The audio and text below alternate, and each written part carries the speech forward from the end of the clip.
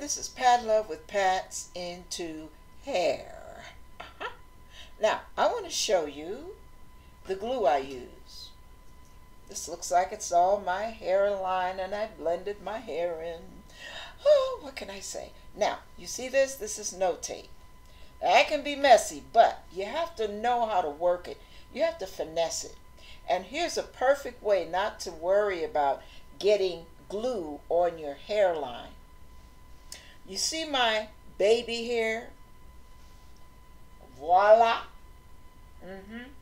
Well, when I cut the lace off, I didn't just cut across and line it up with my hairline. I cut it all unevenly in here so you don't see a line.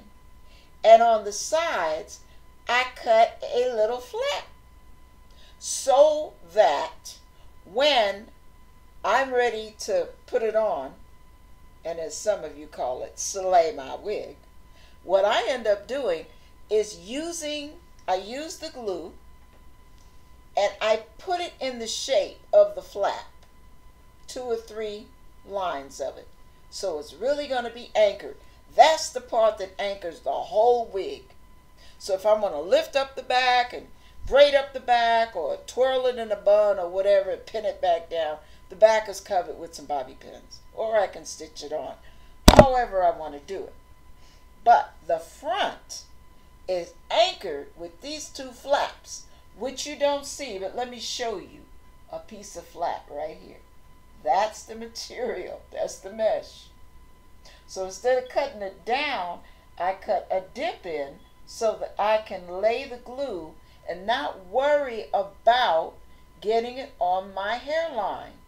Now this is right in front of my hairline, but the way I work this so it, it looks like it's all just me and my skin, I cut a jagged edge all the way across, uneven, just kind of, you know, irregular. And then I lay the bead, I follow the line with the bead, and I pull it forward. And this after it dries. You got to make sure when you use this glue that when you touch it, nothing's coming off on your hand. Why? Because if you do it too soon, the glue will bleed through. There's a time to bleed, there's a time not to bleed. All right. So the time not to bleed is when you don't want it getting onto the hair. So you wait till it's totally dry, then you pull the wig and you press it down real good. You keep the hair out of the way. You press it down real good. All right. Now, you go back in. Now that this is anchored, you just lift this up a little bit and you bead, just a little bead, very thin, thread size. You let that sit there, you fan it until, again, it doesn't come off on your hand. And you pull it forward, you press it down. Now, it's not going to stay down real good because it's not enough glue. But here's the trick to making it look like your skin. What I end up doing is then I take the glue and I do a very thin bead away from the hair. I keep the hair away. Over that same line. Very thin bead. All right.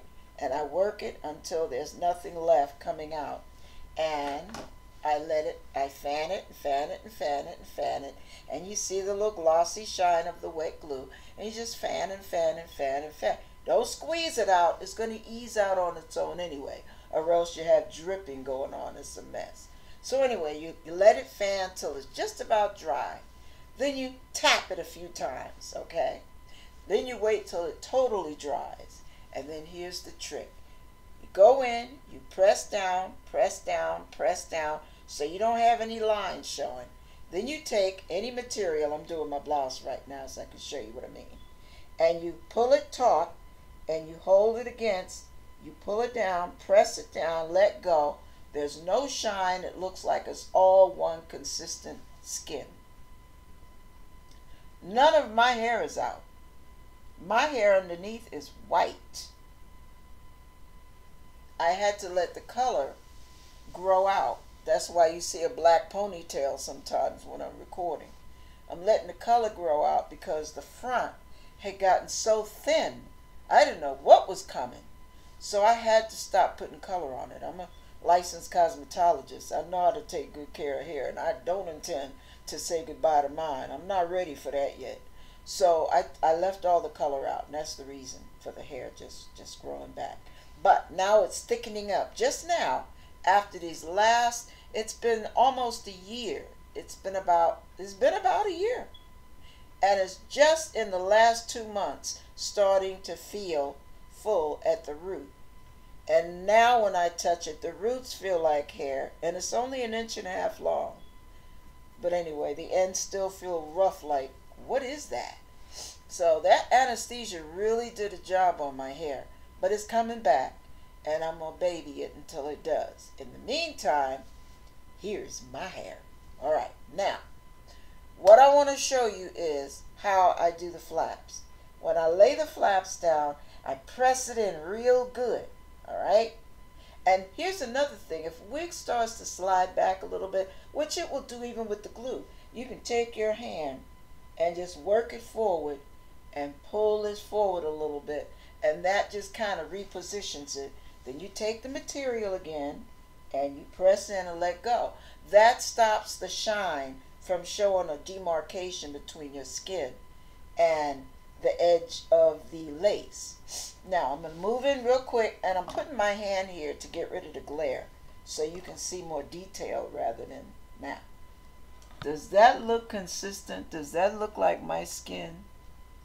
Or what? No line, no nothing. Now, I'm going to turn around and this is going to be done. I want you to see how this looks. I put straight setting lotion on the edge I don't worry about anchoring this down. I only anchor this and the temple. Everything else just hangs wherever. And I use the setting lotion, this Dudley Fantastic Body, the best setting lotion in the world. It's backwards, but you see it. It's Dudley Fantastic Body. Get it on Amazon. Right in here, it's concentrated.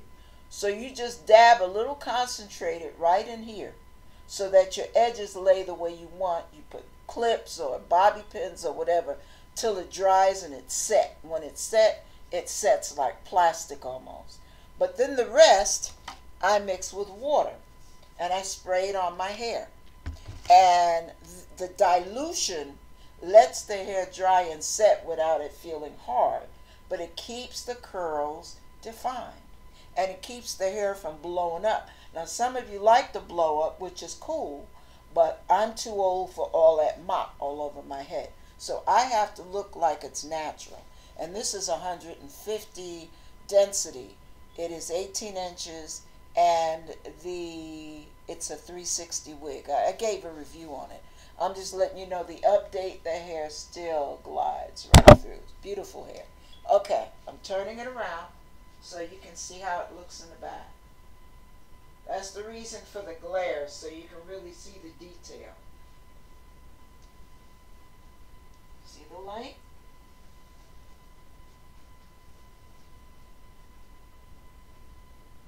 Now, it's my hair. I paid for it. Don't be jealous.